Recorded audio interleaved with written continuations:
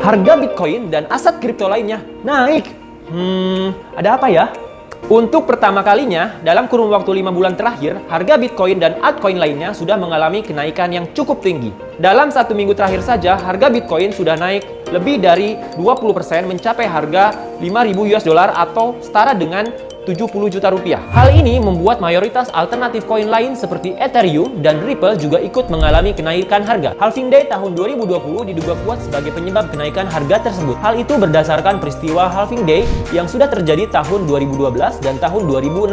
Harga Bitcoin melonjak naik. Isu lain yang beredar adalah kenaikan harga Bitcoin terjadi karena adanya seorang investor besar misterius membeli Bitcoin dalam jumlah besar. Akankah harga aset kripto akan terus naik? Tulis jawabanmu di kolom komentar ya. Download Kakak Crypto Mobile App di Play Store dan App Store sekarang.